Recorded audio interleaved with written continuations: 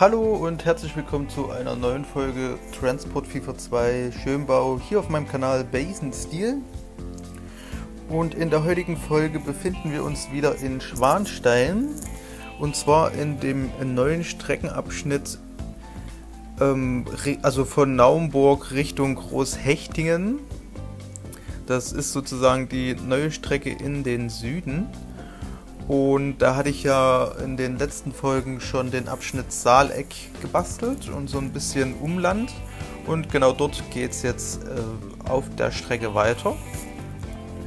Als allererstes habe ich mir hier mit den Dammbauelementen einen Bahndamm geschaffen, damit sozusagen die Strecke zum Fluss nicht absackt und genau auf der anderen Seite habe ich das dann auch noch verwendet und beim groben Betrachten von etwas weiter oben dachte ich mir dann, äh, dadurch, dass der Höhenunterschied zur Straße nicht ganz so groß ist wie zum Fluss, dass es dann vielleicht dort doch etwas übertrieben gewesen ist und habe dann da auch wieder ein Stück weit das Ganze abgerissen.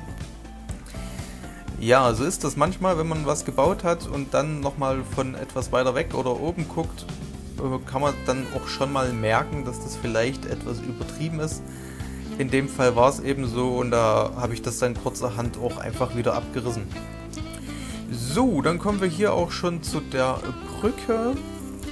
Auch da habe ich wieder versucht, das Ganze so ein bisschen individuell zu gestalten dass wie gesagt nicht jede Brücke gleich aussieht. Das wollte ich ja auf der Strecke machen, beziehungsweise dann später auf der Bergstrecke auch, dass dort äh, immer unterschiedliche Brücken teilweise auch im Eigenbau entstehen werden. Da muss ich dann mal sehen, inwieweit ich die Individualität behalten kann. Hier in dem Fall habe ich zwei große Bögen und einen kleinen Bogen in der Mitte verwendet und das wirkt dann auch schon äh, ganz gut. So, dann wird hier auch schon angefangen, das Ganze zu begrünen. Gerade zur Uferseite wird hier schön mit Bäumen und Büschen gearbeitet, dass das alles schön äh, blickdicht ist, sage ich mal, und dass wenn man jetzt mit einer Führerstandsmitfahrt dort vorbeifährt, eben wirklich das Gefühl hat, dass dort viel Bewuchs ist. Und deswegen habe ich das dann an der Uferseite auch wirklich schön vollgepackt auch immer wieder so ein bisschen mit Lücken dazwischen, dass dann halt trotzdem der Fluss immer wieder zum Vorschein kommt. Und ich denke, äh, so in dem Stil ist es dann schon auch am realistischsten, sage ich mal. Auch hier dann wieder so ein bisschen mit Details noch gearbeitet, nachdem ich die Bäume gesetzt habe, einfach noch so ein paar Büsche platziert und dann mit den Texturen dort auch nochmal so ein bisschen rumgespielt. Und so kann man dann wirklich äh, sehr gut und sehr schnell eben auch einen Bereich füllen.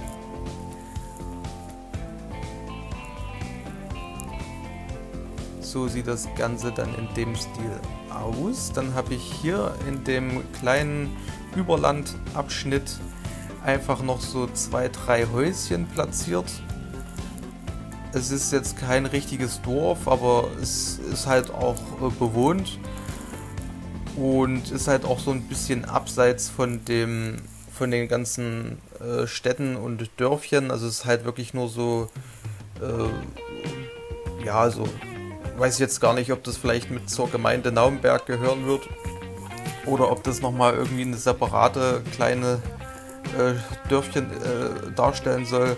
Das muss ich mir dann nochmal überlegen. Insgesamt habe ich hier, glaube ich, auch noch keine Bushaltestelle gemacht. Ich habe ja mir so eine äh, Buslinie hier in dem Video auch angelegt. Das werden wir dann auch gleich noch sehen. Ähm, kann ich jetzt gerade gar nicht sagen, ob ich hier auch eine Haltestelle ähm, platziert habe. Das wäre natürlich an sich von der Streckenanbindung gut, denn die Leute müssen ja auch irgendwie mit dem Öffentlichen irgendwo hinkommen. Aber das weiß ich jetzt gerade nicht, müssen wir dann mal im Verlauf des Videos nochmal schauen. Als erstes habe ich dann hier auch das Umland um diese Häuschen da noch ein bisschen ausgestaltet. Also gerade so was die Texturen angeht, da einfach so ein bisschen eine Wildwiese äh, aufgepinselt mit so ein paar Blümchen. Also da macht sich dann auch immer gut die Mohn Textur und die Kamille-Textur. Und dann gibt es da auch noch so eine Butterblumen-Textur, die dann eben dort im, also gemischt sehr gut wie so eine äh, Obstwiese, äh, beziehungsweise wie eine Wildwiese, meine ich, äh, wirkt. Ne? Und wenn man dann, sage ich mal, noch so zwei, drei verschiedene äh, Grastexturen dazwischen pinselt, also mal eine helle, mal eine dunkel, dann wirkt das Ganze schon sehr, sehr gut. Und äh, so kam das Ganze dann hier eben auch zum finalen Schliff. Was jetzt hier auf der Strecke auch noch komplett fehlt, ist die Oberleitung. Man sieht es halt hier auch im Video jedes Mal. Äh, ich habe dann für den Screenshot, den ich mir hier rausgezogen habe, für das Thumbnail unter anderem, beziehungsweise auch, ich mache ja immer mal so ein kleines Artwork für Steam oder für äh, den Transport Forum. Da habe ich mir dann hier so ein kurzes Stück auch mit Oberleitung versehen. Ich weiß noch nicht genau, wann ich das machen werde, weil es ist dann doch relativ zeitaufwendig. Aber in naher Zukunft muss es dann doch passieren, denn auch im Bereich Schwanstein äh, ist da mit Oberleitung noch gar nichts passiert. Und deswegen muss ich das Projekt auch demnächst mal angehen. Ich werde es dann, denke ich mal, Abschnitt für Abschnitt jetzt so ein bisschen mit auf dem Schirm haben und dann am Ende einfach nochmal so ein bisschen überarbeiten. So, um dann eben auch hier nochmal so ein bisschen ländliche Strukturen hier in das äh, Umfeld zu bringen, habe ich dann hier einfach auch noch so ein paar Feldwege erstmal angelegt und dann das Ganze mit verschiedenen Texturen bepinselt. Also Ackerboden, Maisfeld, Weizen und so weiter. Man kennt diese typischen Texturen sozusagen und ich finde, das macht sich dann auch immer gut, um dann halt auch schnell einen großen Bereich sozusagen zu füllen. Und so geht das dann auch relativ fix von der Hand und man hat dann halt schnell äh, Fläche gestaltet und es passt dann halt auch wirklich richtig gut auf diese Überlandstrecken, die zwischen den Dörfern sozusagen entlang gehen. Das macht dann halt schon ein richtig, richtig rundes Bild, sage ich mal. Und ja, im Groben und Ganzen ist es jetzt hier in dem Video auch, also beziehungsweise in dem ersten Bereich jetzt hier die Begrünung, sage ich mal, von den verschiedenen äh, Flächen da kann man wirklich auch viel mischen und, äh, sag ich mal, sich ausprobieren. Gerade so mit der Anlegung von so Wäldern und Bäumen äh, kann man sich auch viel aus der Realität holen, sage ich mal, wie das so ungefähr äh, aussieht, damit das jetzt nicht so überladen halt auch wirkt. Ich versuche dann auch das eher so ein bisschen punktuell auch zu setzen. Denn so kriegt man dann halt auch wirklich ein stimmigeres Bild, als wenn man jetzt großflächig mit einem Pinsel dort den, die ganze Fläche mit Wald voll füllt. Denn das wirkt dann halt auch schnell zu überladen, finde ich zumindest. Ja? Also gerade wenn dann auch die Bäume teilweise alles nur eine Sorte ist, ist es dann halt auch irgendwie ein bisschen komisch. Deswegen versuche ich das dann hier halt auch punktuell einfach ein bisschen zu mischen, so wie die Texturen. Ne? Also sag ich mal mit bisschen die Stärke vom Pinsel sozusagen runterschrauben und dann einfach mit einer dunklen oder einer hellen Textur über die normale Wiese nochmal drüber gehen. Dann kommt das, sage ich mal, auch besser. Was man auch noch machen kann, wenn man jetzt zum Beispiel einen Nord- und einen Südhang von Bergen hat zum Beispiel, kann man dann dort auch die eine Seite mit einer dunklen Textur und die andere Seite mit einer hellen Textur. Und so entsteht dann eben auch der Eindruck, dass die Sonne auf, den, auf die eine Hangseite eben auch äh, länger bzw. stärker scheint und das Gras dort eben etwas grüner ist als eben die Schattenseite.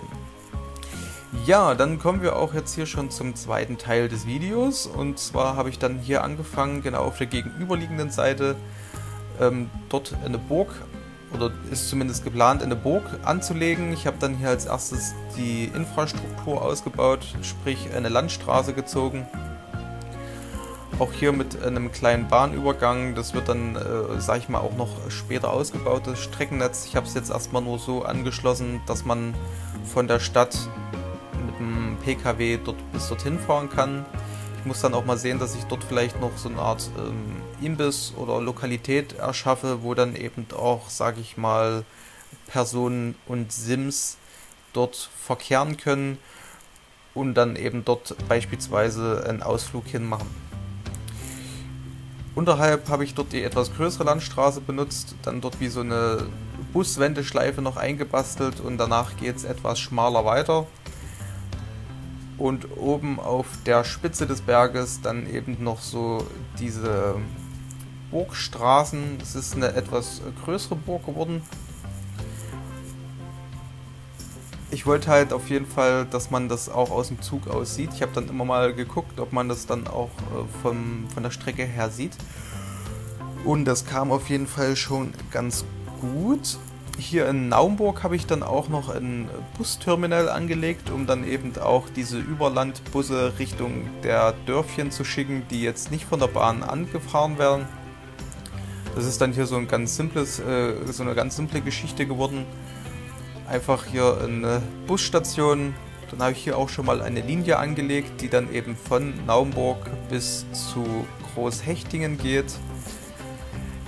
Das ist sozusagen der Bereich, den ich jetzt in den nächsten Tagen fertigstellen werde. Ich muss dann halt auch mal schauen, inwieweit ich dann das Stadtbild von Großhechtingen und Naumburg ausbauen werde. Das darf auch nicht zu viel werden. Wie gesagt, die Performance äh, wird schon strapaziert. Ich versuche das jetzt hier so punktuell über die Fläche halt ein bisschen zu verteilen und muss dann mal sehen, inwieweit das da halt äh, gut funktioniert. Ich habe dann auch so ein paar Standardbusse erstmal nur auf die Linie gepackt, weil ich dann auch gemerkt habe beim Durchscrollen, okay, ich habe zwar jetzt hier die äh, Flixbusse und diese riesen, ich weiß gar nicht, wie man die alle nennt, da kenne ich mich echt gar nicht aus. Ähm, aber die erschienen mir dann auch ein Stück weit zu groß für die Überlandfahrt in so Dörfchen. Und ja, wenn jemand eine Idee hat oder einen Vorschlag, welche Busse ich hier auf die Karte bringen kann und soll, dann schreibt mir das gerne mal in die Kommentare, weil wie gesagt, da habe ich noch äh, gar nicht groß viel Mods aktiviert, da ich auch das bisher nicht so in Angriff genommen habe, eben so eine Überlandbusse anzulegen. Ja, vielleicht gibt es da irgendwie ein spezielles Modell, was sich besonders gut eignet, beziehungsweise was ich hier eben auf die Karte bringen kann. So, dann kommen wir auch schon zum Burgbau an sich. Da habe ich als allererstes ähm, das Burgtor und die Mauer platziert.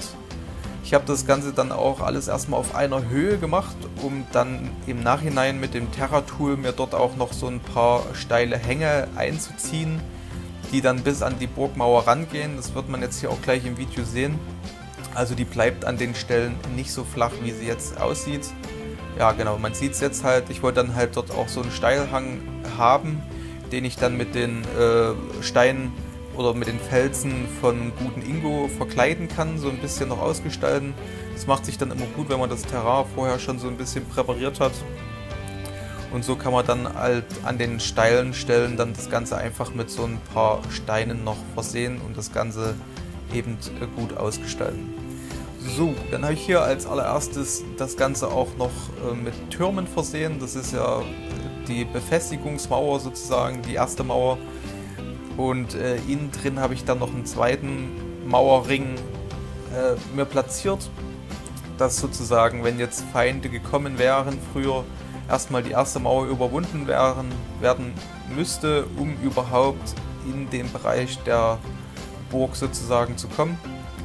Dazu habe ich dann hier auch nochmal so ein paar Pforten angelegt. Ja, das sind sozusagen damals die äh, Zollpforte vielleicht gewesen, wo dann, sag ich mal, die Bauern vorbeigehen mussten, um ihre Waren innen drinnen verkaufen zu dürfen.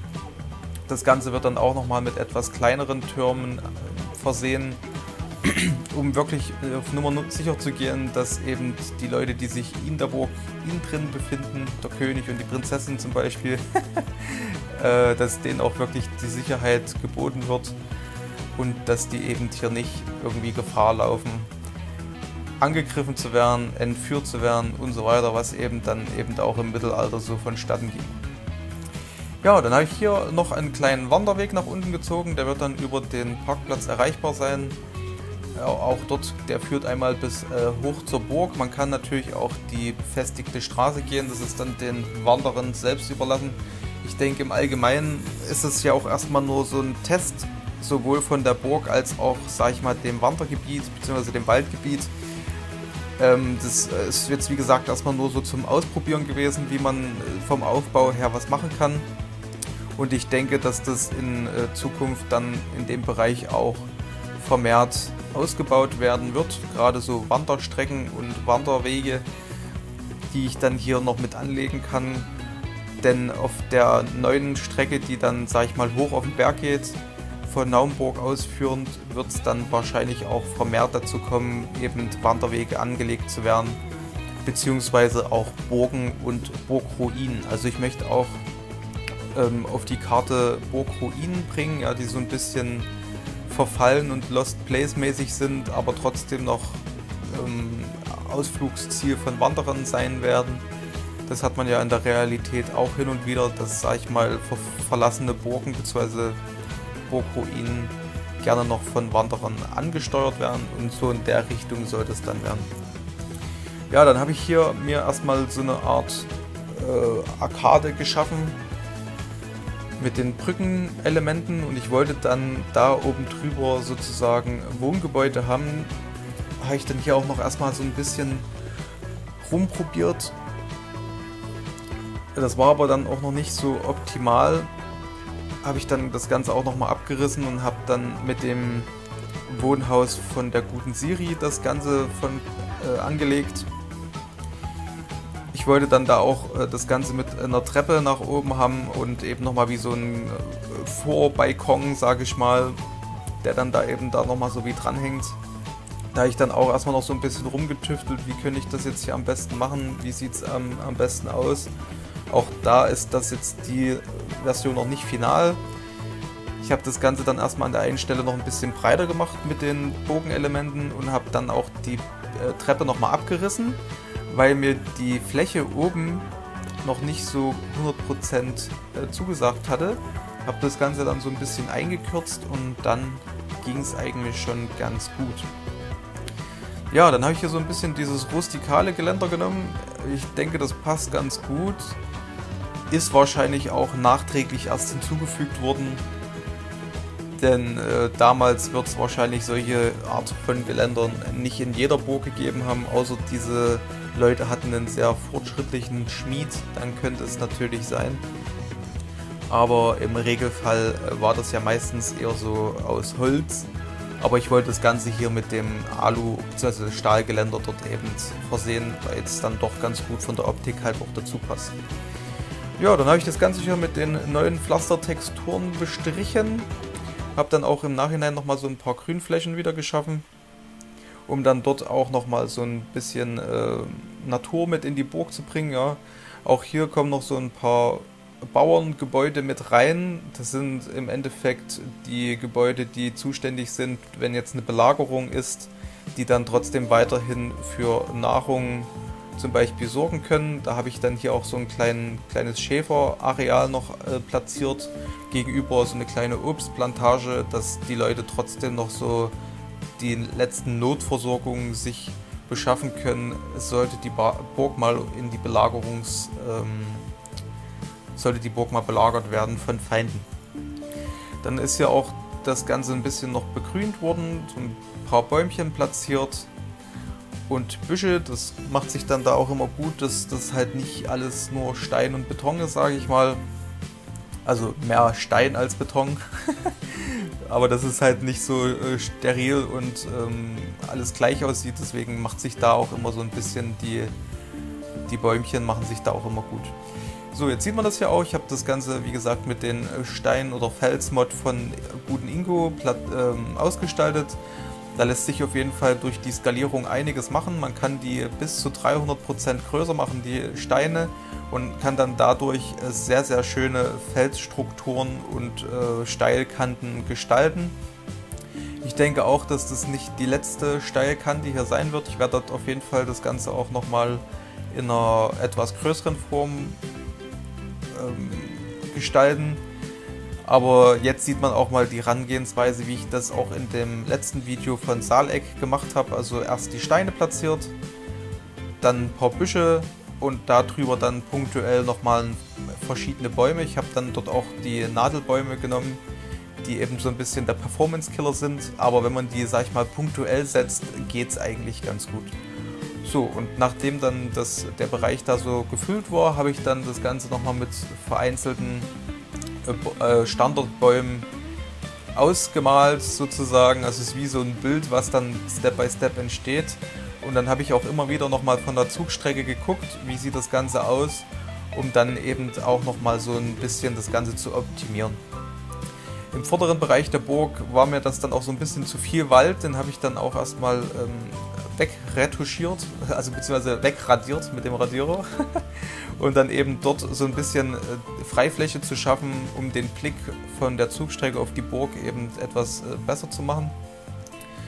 Und habe dann hier einfach nochmal zwei verschiedene Feldtexturen aufgepinselt und das Ganze dann eben nochmal so ein bisschen von der Fläche halt her besser äh, einen Blick, einen besseren Blick auf die Burg eben zu schaffen.